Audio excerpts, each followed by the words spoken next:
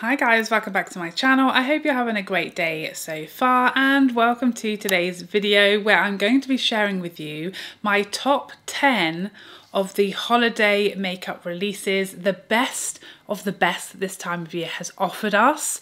The picks for me, the ones that give me the most joy, the ones that I feel like are the most exciting, worth your money, worth your time and your energy in general. So without further ado, let's get started. So I'm going to start off with what is on my lips and this is Lisa Eldridge's in here it is. Lisa Eldridge's Enchantment. Ah, this was such an unexpected love for me. I was like on the fence about a lot of Lisa's shades just because they're so hard to judge how they'll look on you. I feel like Lisa comes out with a lot of lip colours that are not like close to anything that I already own. So I just don't know, is that for me? Is that going to work for me? Is that going to suit me? Is that going to be my cup of tea? I don't know. But I've learned over the years to trust her and buy them anyway because I always end up loving them and they always end up looking so much more beautiful than I was expecting. This one more than like ever before. Enchantment gives me like everything that Cinnabar gives me, but I feel like it's slightly more wearable for every day for me on my skin tone. It's just that hair lighter. I feel like there's something so sophisticated and classy, but like put together an independent woman. You know, like if I wanted to go to a board meeting and have everybody agree with me, this is the lipstick I would wear because I feel like you trust this person. She is confident, you know, she knows what she's talking about. She's in control, she's in charge. That's what this lipstick's giving me. It was such an unexpected love. I can't stop wearing it. I, I love it and wear it even more than Sorcery, which was the one I expected to love. I knew I would love that one. This one took me by surprise and I'm obsessed. It's one of my favourite Lisa lipsticks ever. And that is saying something because I love those lipsticks, okay. Next up, a product that came out so long ago, I've almost forgotten it was a holiday release and it's Hourglass's Tiger face palette. You guys know how much I love this palette. It's just perfect. I've got a lot of these palettes from Hourglass, okay? I've got a lot of them over the years. There's always something in there you don't use that's not quite your cup of tea, that doesn't quite suit your work on your skin tone, that's just not something that you're drawn to using. I use everything in here everything in here and I reach for this more often than I ever have one of these palettes. I'm still using this even though it's not even been Christmas yet but it's been out for like two months, this palette already. So they were a bit premature with the release date, I will say that. But I'm still using it, you know, a couple of months later, which is rare for these palettes. I feel like I, they're really exciting to look at and eye-catching in the beginning, but quite quickly you're like, okay, enough, and it goes in the drawer. This one, I'm still using it. I still feel like I'm gonna be using it all of next year because it's so beautiful. I love everything in there. Everything works perfectly and it's a full face a full face, we're not missing anything. At last, finally, such a great release. Next up, let's talk about Chanel's Rose D'Or Highlighter. Oh, she's beautiful. It's just right up my street, that beautiful, luminous, smooth glow. So pretty and flattering and doesn't emphasize texture and lines. It melts into the skin. This is going to be one that I love even more come like spring and summer because at the moment it, I have to be a bit careful with it. I have to be a bit strategic with the placement of it because it is quite deep for my winter skin tone. In summer, this I just know this is going to be like my favorite highlighter in summer because the formula is stunning. So smooth, so beautiful and luminous and flattering. And I love the smoothness of it. It's just the smoothest of the smoothie smooth, smoothity, smooth, you know. Smooth like James Bond.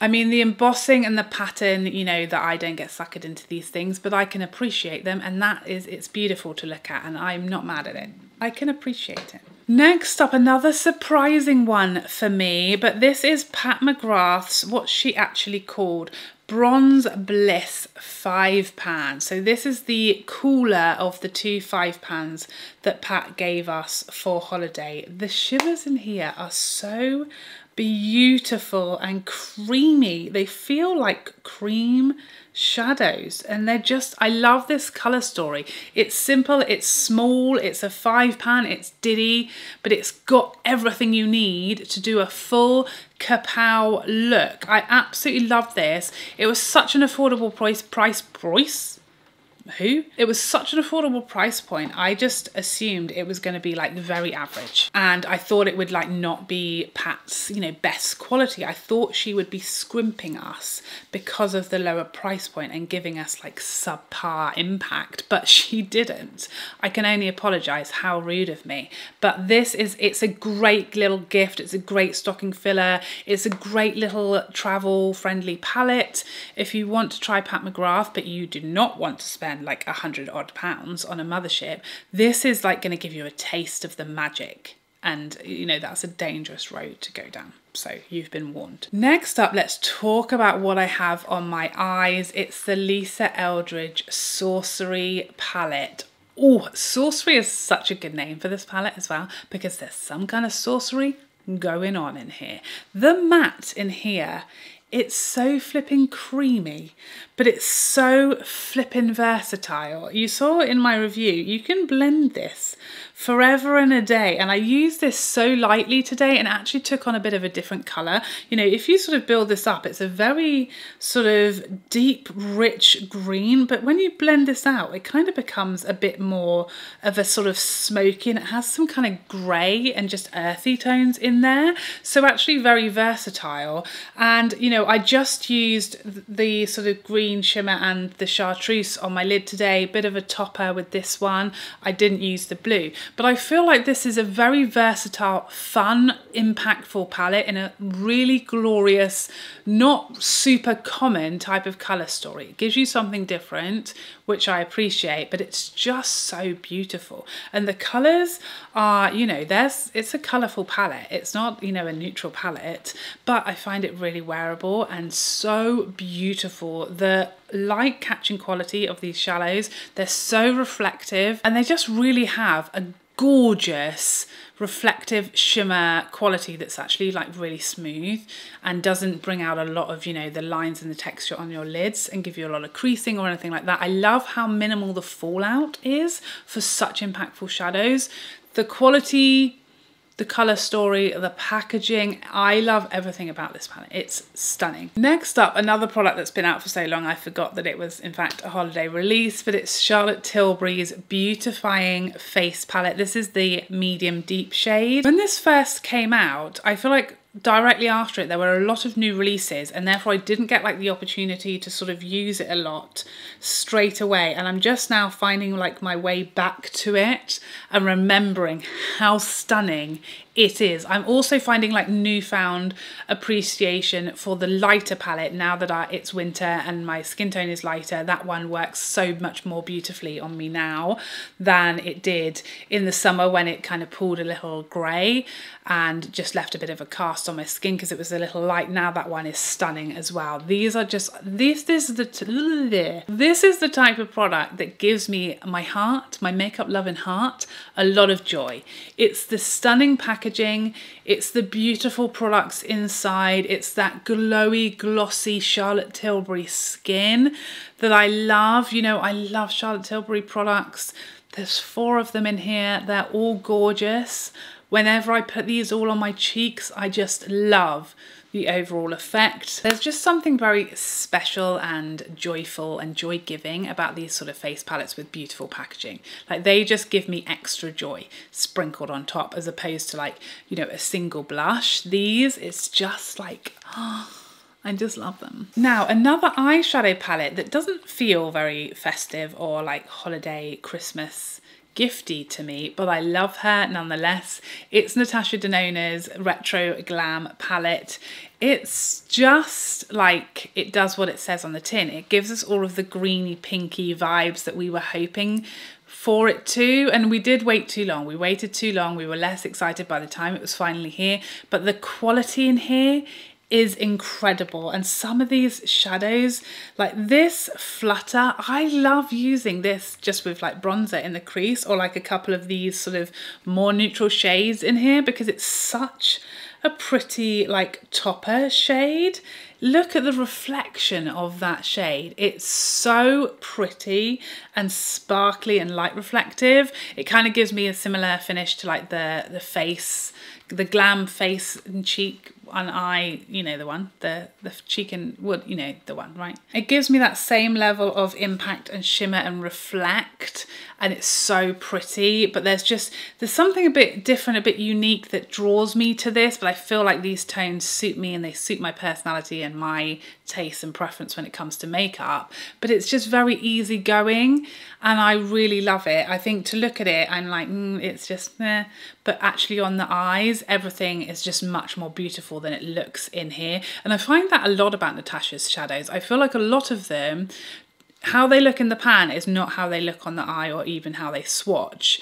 And so you really have to like use it and and get in there and get some looks going to know how you feel about a palette. I think just looking at it and looking at the colour story is not going to tell you whether it's for you or not. You really do have to use it because a lot of these shadows don't look how they appear. They're a little misleading, which is problematic, but I think it's some of the formulas that Natasha uses, especially her cream powder formula. Those shades never look anything like how they actually go on the eye. And I find this really fun and one that I reach for a lot. Next up, let's talk about Pat McGrath's Nude Venus 2. This is the single blush that was available with her holiday collection. It's one of my favourite ever blushes from her brand. I do have the original and they are very, very similar. This one just gives me a bit more pigment and it's a bit peachier and it's also I think a little more luminous finish wise to the original. I did like the original but um, I way preferred Desert Orchid so I never really used Nude Venus. This one I'm using now more than I'm using Desert Orchid. It's just the, the differences are subtle, but I love it. I love the embossing. I love the packaging. I love that it has this, so I actually know which one this is when it's in my drawer of like 10 compacts that look like this. But I love this colour. It's so easy to wear. I feel like it's one that I can use in summer and in winter because it's got enough pigment but it's also very wearable and inoffensive. It's not fighting with anything. It's the perfect everyday neutral pretty blush for me. Next up let's talk about this hourglass phantom gloss. So i love this formula. I had a few of these before i bought the holiday gift set with the two shades in. One of the shades in the little gift set is an existing shade. I think it's slip. So that is an existing shade but i didn't already own it. So the shade that was like specific specifically for that holiday set is a new shade for holiday is Rouse. and it is so perfect. I really wanted like a richer nude in this formula because I think Trace is really the only nude available previously to this one and it's like quite light it's a very you know I have to clean my lips off of any foundation or anything that's got on there for it to kind of give me colour. Whereas this one, it's just like the perfect everyday nude in this formula that I love so much.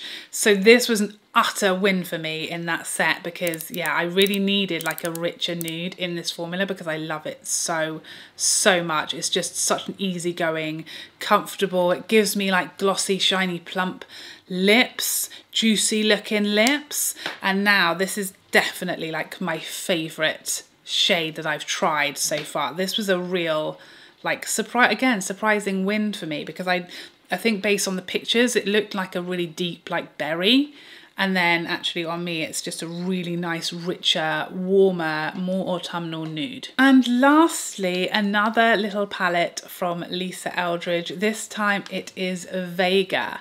Vega was really surprising, a bit like Enchantment. You know, I saw Lisa's video and I was always interested, the most interested in Sorcery because it was the one that was the most unique colour story to me. But this one caught my eye because it, there was something about it that was giving me the vibes of my Natasha Denona 5 pan that has been discontinued, that is long gone, that we cannot get our mitts on. Something about these smoky shades in there, especially this one, but also this shimmer and just the overall look of this palette. But this one, again, like Enchantment, shook me when I actually used it. The thing that was surprising was not like the impact and the over the top shimmer. The thing that surprised me about this one was how wearable and versatile it is for every day. You know, I the look that I did in my video, if you just use these these matte, actually this one is a velvet, but it's almost like a sort of satin matte, the, the, the feel of it and the look of it on the eye. So soft, you know, you can use these two together and a little bit of either shimmer and it's a very muted, everyday, understated, but very pretty and a bit unique because of the tones, especially in the French grey shade. There's just something, you know, cooler and more unusual and very flattering about that combo for every day. Very, very soft. But then you've got these shades that are so rich and smoky and give you all those options. You've got the black that you can use, you know, as liner as well. So this literally can give you everyday, very soft, subtle, pretty feminine vibes, but a bit unique because of that cooler, smokier grey undertone running through it. Or you can go all out, full on smoky eye. It's very versatile. Versatile for a six pan incredibly versatile. So I was really surprised by how much I loved this, how different it was, how beautiful it was on the eye. The formulas, like I said, for Sorcery are right up there with my favorite ever formulas of all time. I love using these palettes because they're just such a joy to use. The formulas are so good and this one really surprised me. So there you have it. Those are my top 10 holiday releases. I'm going to say so far because although there's not very many days left of the year and I haven't seen anything that's coming yet and I haven't seen anything that's coming soon that is like catching my eye that would possibly challenge for a top 10 spot, but there's always something that just comes right in at the very last minute of the year, isn't there? Usually it's Charlotte Tilbury.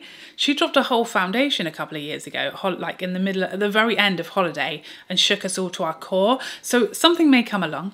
If there's something you're thinking, but Charlotte, what about that? It probably came out after I filmed this video because People love to do that to me and make me look a fool. Please let me know what your absolute picks, your fave of your fave of your fave holiday releases were this year, or have you just been unimpressed by all of it? Please let us know in the comment section down below. I hope you enjoyed this video and I'd love to see you in the next one. Otherwise, take care for now. Bye bye bye bye.